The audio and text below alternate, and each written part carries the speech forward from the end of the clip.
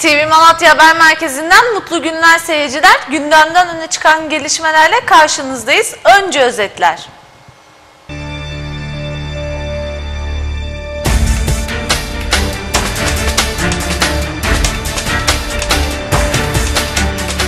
Kamçı Camii adı verilen Yusuf Ayhan'a ise Allah'tan rahmet diledi. Beton mikseri devrildi, sürücü araçta sıkışarak 20 dakika kurtarılmayı bekledi. Emniyetten tombala operasyonu 78 kişi hakkında işlem başlatıldı. TED Malatya Koleji'nin büyük başarısı. Amerika'dan Türkiye'ye ödül getiriyorlar. Engellilerin bir günlük askerlik sevinci görülmeye değerdi.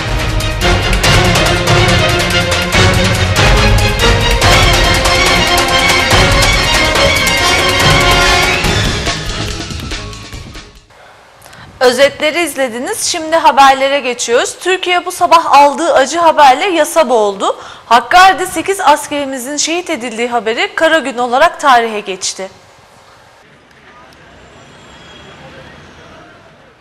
Hakkari'nin Çukurca ilçesi Çığlı Üst bölgesinde sabah karşı 04.50 sularında PKK'lı teröristlerle askerler arasında silahlı çatışma çıktı.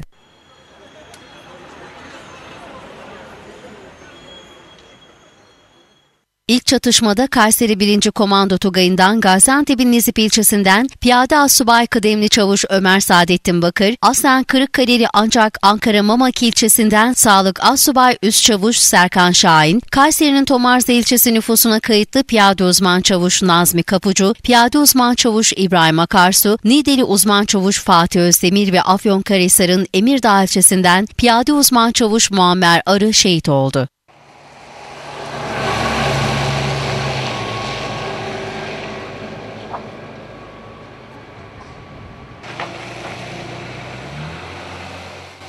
Çatışma bölgesine acilen helikopter sevk edildi. Maalesef sevk edilen helikopterde arıza nedeniyle düştü. Helikopterin düşmesi sonucu şehit olan pilotların ise 36 yaşındaki pilot Üsteğmen Müjdat Kerem Şahan'la kara pilot Üsteğmen Burak Bike Bahşi olduğu öğrenildi. Şehitlerin acı haberleri memleketlerine ulaştı.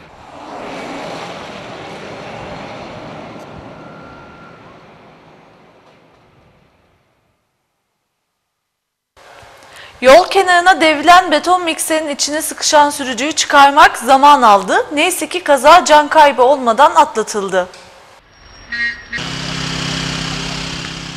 Kaza dün akşam saatlerinde Yakınca mahallesinde meydana geldi. Mehmet Ağa yönetimindeki 44 NN 678 plakalı beton mikseri alt geçitten geçtikten sonra kavşakta ilerlerken henüz belirlenemeyen bir nedenden dolayı yan yattı.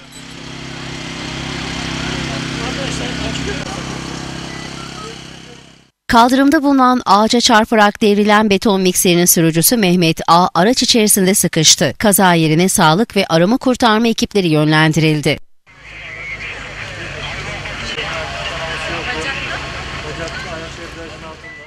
AFAD ve itfaiye ekipleri mikserin içinde sıkışan sürücüyü kurtarmak için büyük çaba gösterdi. Polis ekipleri çevre güvenliği alırken sürücü yaklaşık 20 dakikalık çalışmanın ardından sıkıştığı yerden kurtarıldı. Devlet hastanesine kaldırılan mikser sürücüsünün sağlık durumunun iyi olduğu öğrenildi.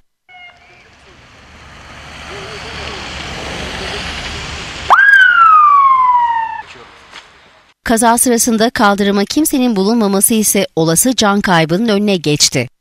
Kaza ile ilgili soruşturma başlatıldı.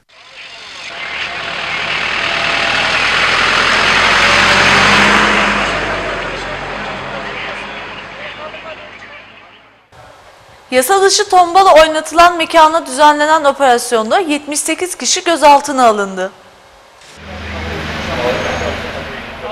Malatya Emniyet Müdürlüğü Asay Şube Müdürlüğü Ahlak Büro Amirliği tarafından yasa dışı tombala ve kumar oynatıldığı iddiasıyla Hamidiye Mahallesi'ndeki bir kahvehaneye baskın düzenlendi. Baskında mekanda yasa dışı kumar oynatıldığı tespit edilerek iki adet tombala makinesine el konuldu.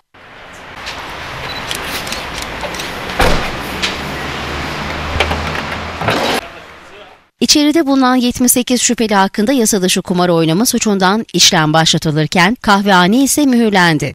Kentte daha önce de benzeri şekilde yasa dışı kumar oynatılan yerlere baskın düzenlenmiş ve tombala makinelerine el konulmuştu.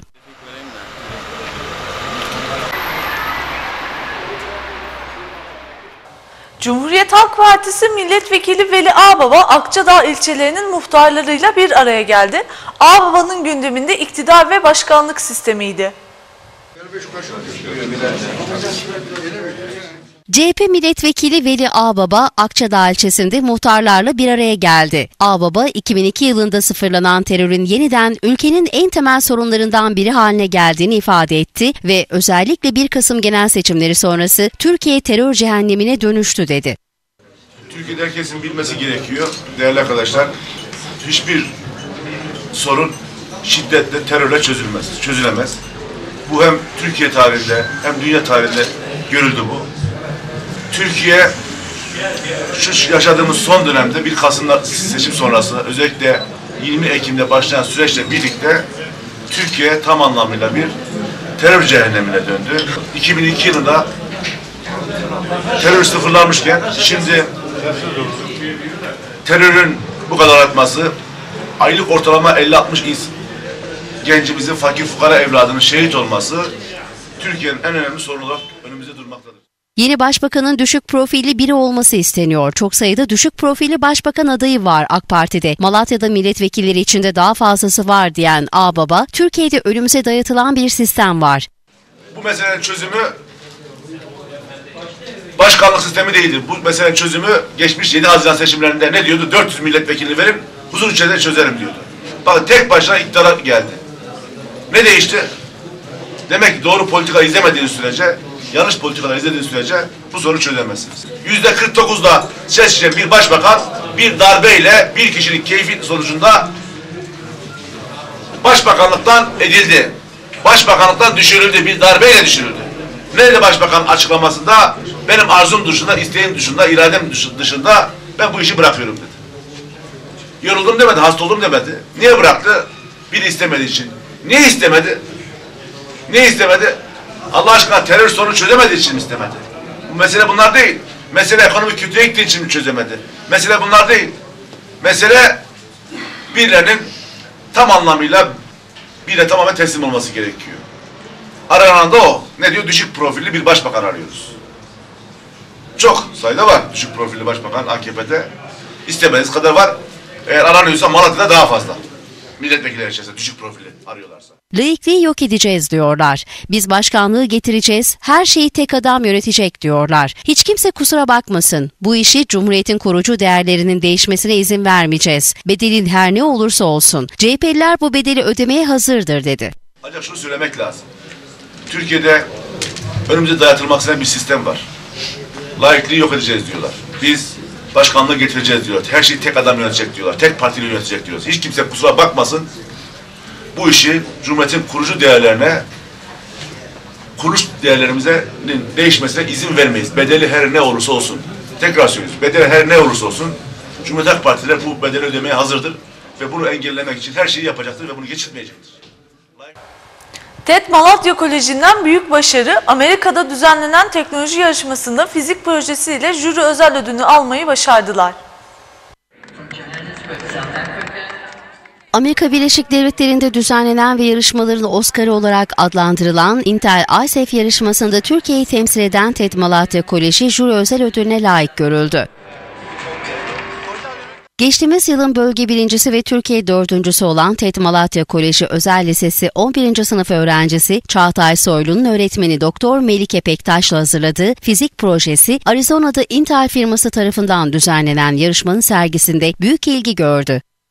Dünyanın dört bir yanından öğrencilerin projeleriyle katıldığı ve Intel firmasının düzenlediği yarışmanın sonuçları açıklandı.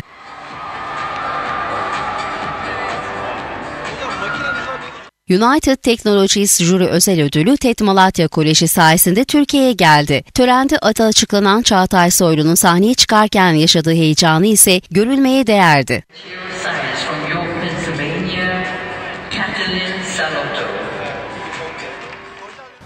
Science from York, Pennsylvania, Kathleen Salotto. Battal Gazi'de asayiş uygulaması yapıldı. 150 polisin katıldığı uygulamada 250 vatandaş kontrol edildi. Battal Gazi İlçe Emniyet Müdürlüğü tarafından eski Malatya'da umuma açık ve kahvehanelerde asayiş uygulaması gerçekleştirildi. 150 polisin katıldığı uygulamada çay ocakları, kahvehaneler ve internet kafelerde arama ve kimlik kontrolü yapıldı.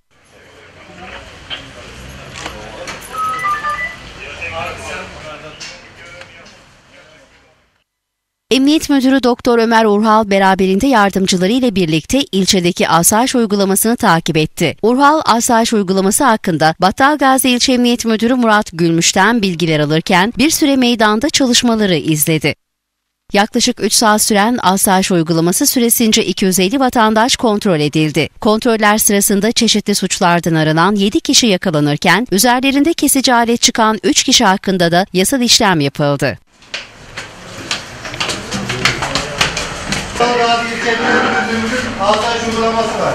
Kimliklerinizi hazır hale getirin. Arkadaşlar toplayacaklar. Üç araması yapacağız.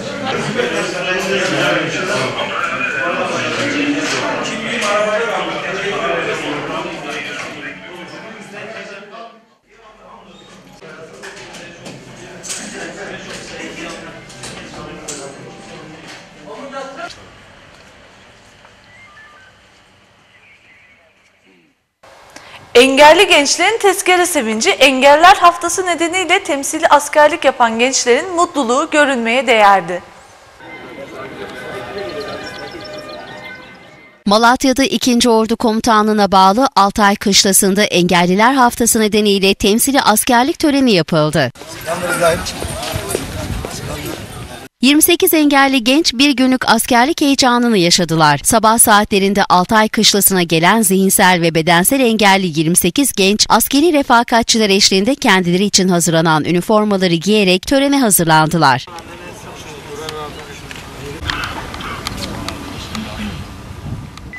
Ailelerin de katıldığı törende engellilere esas duruş, selam verme, silah tanıma ve tören yürüyüşü eğitimleri verildi. Engelli askerler saygı duruşu ve İstiklal Marşı'nın okunmasının ardından yemin ederek bir günlükte olsa asker olmanın sevincini yaşadılar. Nasılsınız? Size sağ olun.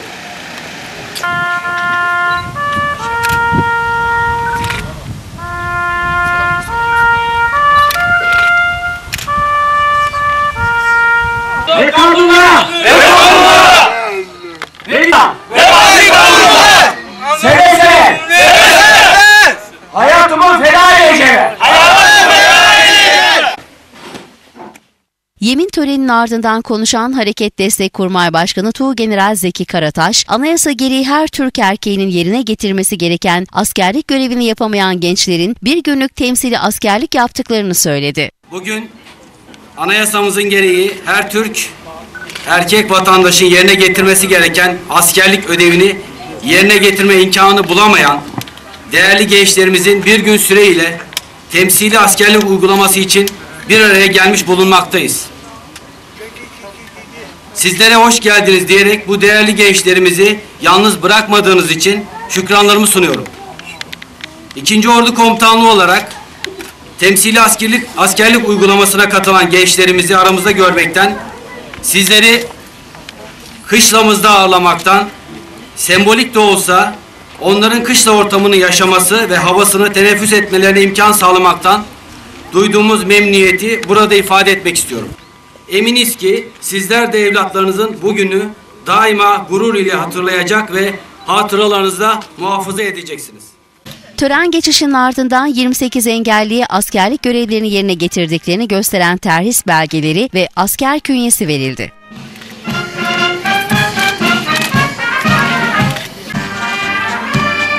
Sayın Kaymakam poz alabilir miyiz?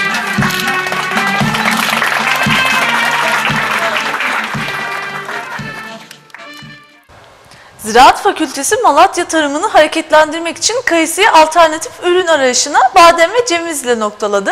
Yapılan çalışmalardan başarılı sonuçlar elde edildi. Hakikaten ev şu manzara etkileyici bir manzara. Kayısının başkenti olan Malatya'da elma, armut, badem, ceviz, üzüm gibi diğer tarım ürünlerinin de yetiştirilmesi için iklimi ve toprağın uygun olduğu açıklandı. İnönü Üniversitesi Ziraat Fakültesi Dekanı Profesör Doktor Bayram Murat Asma ve Dekan Yardımcısı Profesör Doktor Ergün Doğan basın mensuplarına seraları gezdirerek çalışmalarını anlattı. Bili- Bilindiği üzere Malatya dünya kayısı üretiminin e, kayısı üretiminde çok önemli bir yere sahiptir. Yerli ve yabancı herkesin kabul ettiği kavram Malatya dünya kuru kayısı üretiminde bir başkenttir. Ama kayısıda bazı yıllar yaşanan çeşitli problemler, işte bunlar bazen pazarlamada yaşanan sorunlar, bazen de ilkbahar geç donlarının neden olduğu kayıplar nedeniyle bazı yıllar Malatya'daki üreticilerimiz kayısı dışında meyve fidanı üretimi veya meyve yetiştiriciliği için arayışlar içerisine girmektedir. Ee, İnönü Üniversitesi Ziraat Fakültesi henüz çok yeni bir fakülte olmasına karşılık biz 3 yıldan beri devam eden badem ve ceviz konusunda çalışmalarımızı burada sizlere tanıtmak istedik.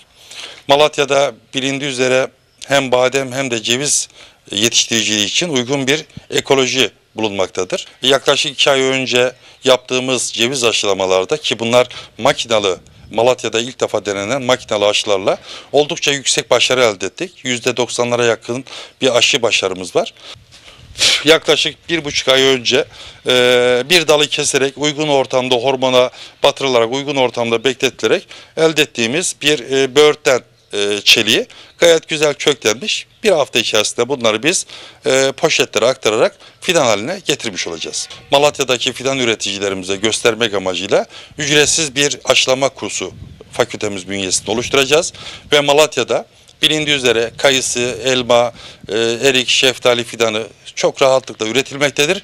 Ama ceviz e, fidanı üretimi son derece kısıtlıdır.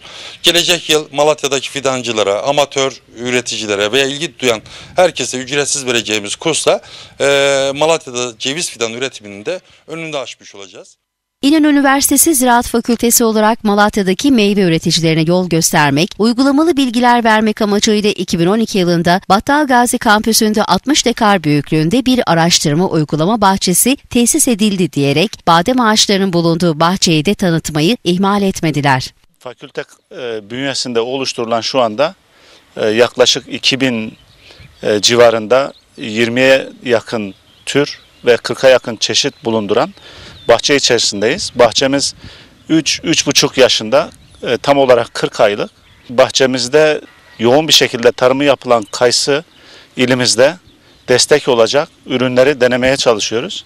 Ayrıca bu alanda üniversite öğrencilerimize de e, uygulamalarımızı gösteriyoruz ve çocuklar buralarda stajlarını yapıyorlar. 5 dekara yakın badem e, bahçesi tesis ettik bu alanda. Türkiye'de yaygın olarak tarımı yapılan Texas, Nonpareil, Feragnes ve Feraduel çeşitlerini deniyoruz. İlkbahar geç donları ilimizde oldukça büyük bir sorun. Texas ve Nonpareil kayısıyla birlikte çiçek açtığı için çoğunlukla zarar görüyor. Fakat kayısıdan yaklaşık 15-20 gün sonra çiçek açan Fransız çeşitleri, Nonpareil, e, Feragnes ve Feraduel çeşitleri e, ki bir tanesinin altında bulunuyoruz. İlkbahar geç donlarından etkilenmiyor. İş adamının babası adına yaptırdığı cami cuma namazı ile ibadete açıldı. Samanköy'ündeki açılışa çok sayıda vatandaş katıldı. Yeşilyurt ilçesine bağlı Samanköy mahallesinde Mustafa Ayhan tarafından babası adına yaptırılan Hacı Yusuf Camisi cuma namazı ile birlikte ibadete açıldı. Elhamdülillahi Rabbil alemin. Ve salatu ve selamu ala Resulina Muhammedin ve ala alihi ve sahbihi ecmain. Cuma namazı öncesi gerçekleşen açılış törenine Vali Süleyman Kamçı, Büyükşehir Belediye Başkanı Ahmet Çakır, Yeşilyurt Kaymakamı Nesim Babahanoğlu, Vali Yardımcısı Miktat Alan, Yeşilyurt Belediye Başkanı Hacı Uğur Polat, AK Parti İl Başkanı Hakan Kahtalı ile çok sayıda vatandaş katıldı. Burada diğer kardeşlerimizin sağlık ve huzur içerisinde ibadet etmesini, arınmasını, temizlenmesini, kulluğunu ifa etmesini nasip eyle.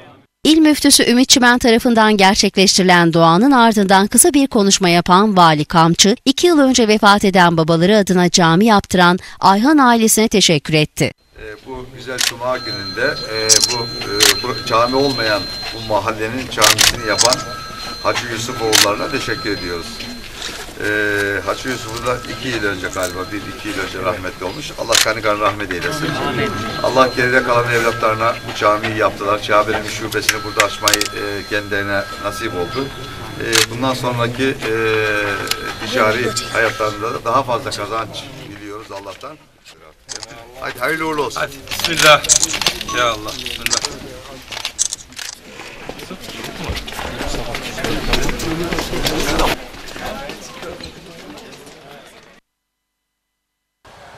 İnönü Üniversitesi Beden Eğitimi ve Spor Yüksek Kariyer Günlerinin konuğu Aliva Yeni Malatya Spor Teknik Direktörü İrfan Buz, Sportif Direktör Ali Ravcı ile sarı kırmızı futbolcular Sedat Akçay, Umut Nay ve Vedat Kapurt oldu.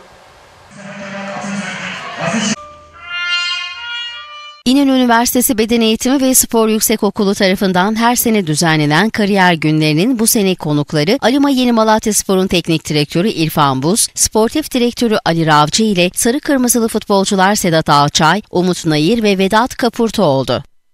Öğrencilerin sorularını yanıtlayan konuklar zaman zaman zor anlar yaşadı.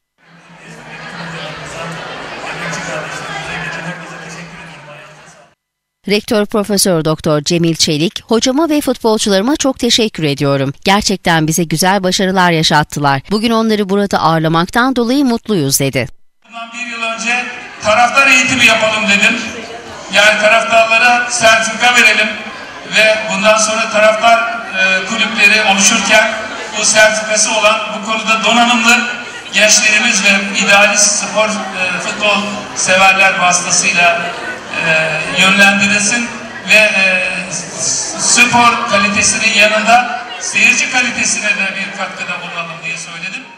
Sorulan bir soru üzerine Türk futbolunun sorunlarını dile getiren İrfan Buz, ben genel anlamda sorunun sistem üzerinde olduğunu düşünüyorum. Türk futbolu biraz daha çalışması halinde istenilen seviyeye muhakkak gelecektir. Ama tabii öncelikle sistemlerin değişmesi lazım diye konuştu. Her şeyden Bey'den,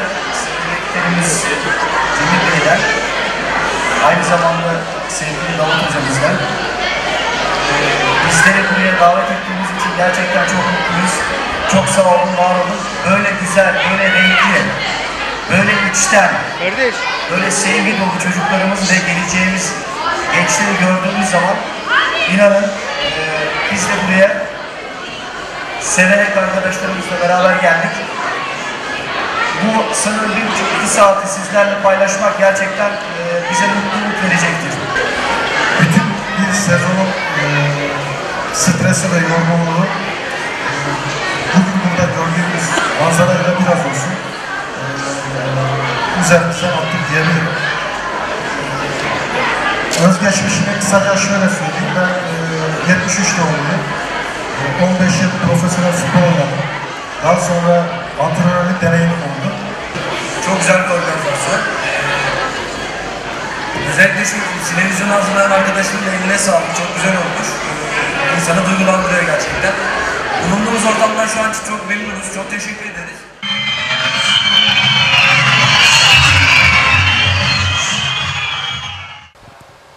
TV Malatya Haber Merkezi tarafından hazırlanan ana haber bültenini izlediniz. Mutlu bir hafta sonu geçirmeniz dileğiyle iyi akşamlar.